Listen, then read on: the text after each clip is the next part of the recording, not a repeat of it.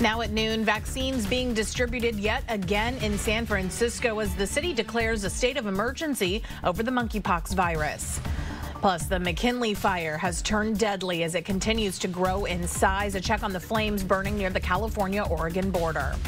And the Oakland community paying tribute to NBA legend Bill Russell. A look at what's planned for the hometown hero.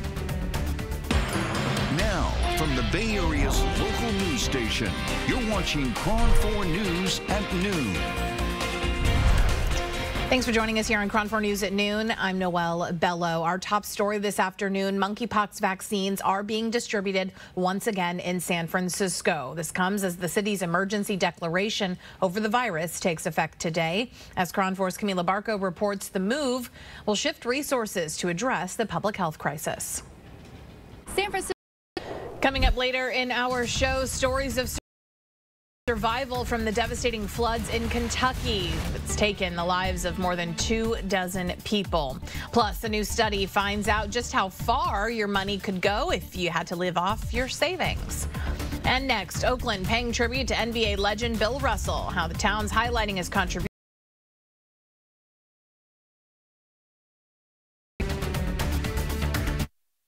The two smaller winning tickets were sold in California. Uh, those winners' names are part of public record, though. So if you really wanted to try and make friends with that person here in California, I believe they bought it at a Vons in Fresno, Olivia. Uh, you could do that. You could find that person. But the billion dollar winner, we're never going to be able to be friends with them. We may just never know who the billion dollar winner is, which means that they can't share all the goods. I, that's what I'm saying. I mean, lucky for them, though. I, I probably wouldn't want people knowing either. I wouldn't either. You know what? I yeah. totally respect it. I and and I understand is. So, well, kudos yeah. to them. Respect their privacy. What are you guys working on for Live in the Bay today?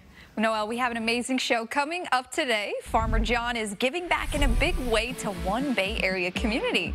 Details on what this food giant is doing to help out. Then it's the 45th Bay Area Playwrights Festival. We're learning more about how this year's event will be a hybrid version. Plus, the outdoor event venue that has everything from food trucks to live entertainment. Find out how you can check this open air creative space for yourself. And find out how you can take on some great music and dancing in the heart of San Francisco. We have all the details on Union Square's Summer Music Series. All of this coming up today on Live in the Bay.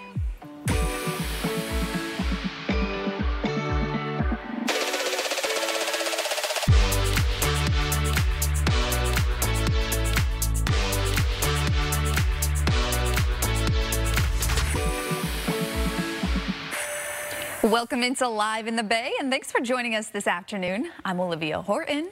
To kick things off and get our afternoon started, let's start with In Case You Missed It.